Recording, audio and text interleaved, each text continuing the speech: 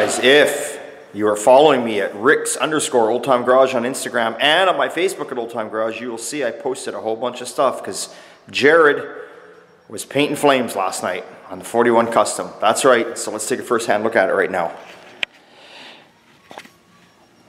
And there she is.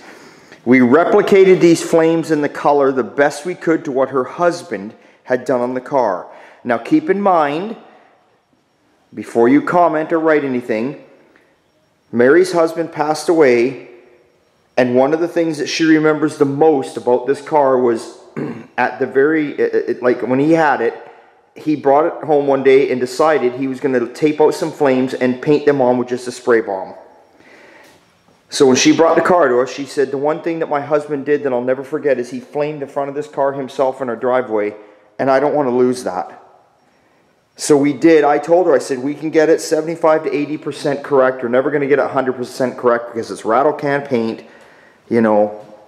And, and when you sand the car and prep the car, we're going to lose the flames. But as you can see in the background, we've got pictures taped all over the place on this side, on this side. And, uh, you know, it turned out pretty damn good. I think she's going to be amazed when she sees it. Now the car is going satin black. Now this car originally was built by Harvey Funk, and if you look it up past the day, it was in Hot Rod magazines in 1954, 5, 6. It was in magazines right up to like in the 2000s. This car is a total history car. It originally was like a gold with all these scallops on it. But of course, over the years it changed. But the main thing is the car itself has survived.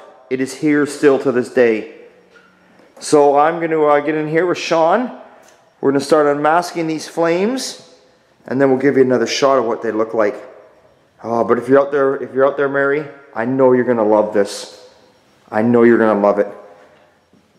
Your husband is so proud of what you've done here. I promise you. I promise you.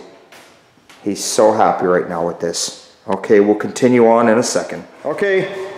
I gotta stop at the store. Okay. Okay. Okay, I'll see you in a minute. Yep. So there we go guys, it's all pulled back. Now,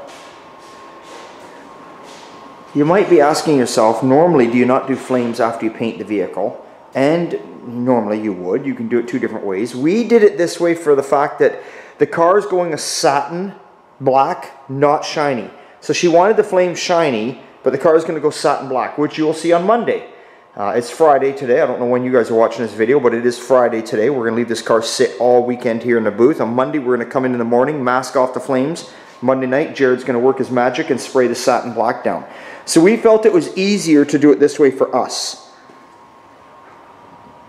Um, just because if you have a screw up when you're painting the color on, if we would have had the car satin black and you have a screw up, how do you fix it? Like it's, it's, it's a real tough one, this one, because like I say, the car is going satin black, the, car, the flames are shiny, so if you get something that, say, say you spray the black and then you do the flames after, and say a little bit of overspray lands somewhere on the car, it's not like you can wipe it off because the vehicle is done in satin clear.